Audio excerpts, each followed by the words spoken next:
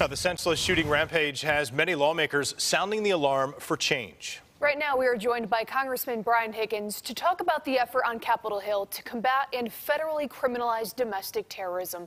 Congressman Higgins, thank you so much for taking the time to talk to us this afternoon. Happy to be with you. So first, I just kind of want to set this off. You know, with this being your district, I kind of want to see, you know, where your head's been at this past week. Well, it was a vile, premeditated attack by a white supremacist on the black community of Buffalo. So my uh, my head is with my people. And I was at the service this morning. I'll be attending more services uh, moving forward.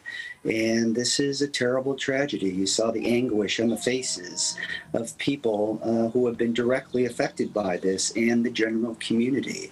And we need to act more decisively on assault weapons, on issues as it relates to uh, social media, uh, cable news television. What kind of speech is allowed and what isn't? What poses a, a, a clear and present danger and what does not?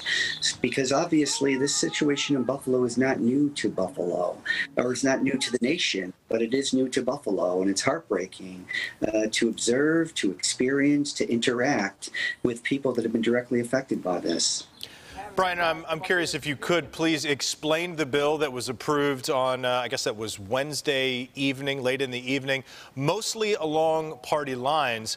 So tell us what is included in that bill. And I'd also like your reaction as to why it was approved mostly along party lines, with people like Republican Congressman Chris Jacobs voting no when this is happening so close to home.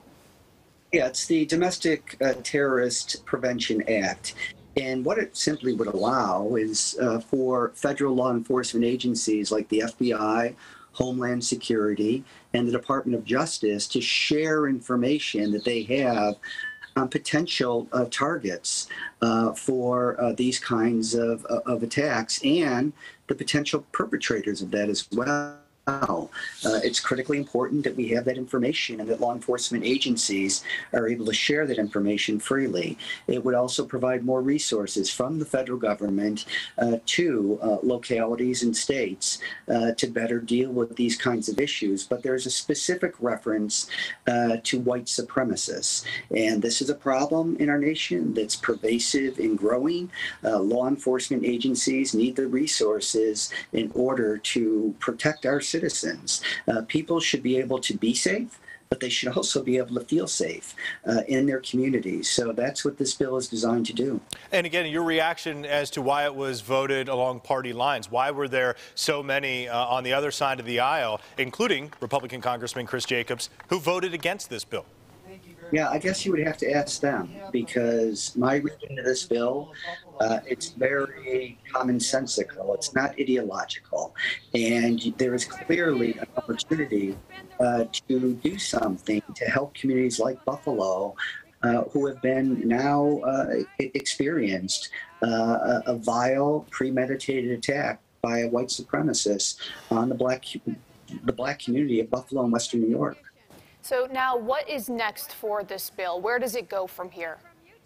Well, it goes over to the Senate, and I have to be honest with you, the chances of it passing in the Senate are probably not good.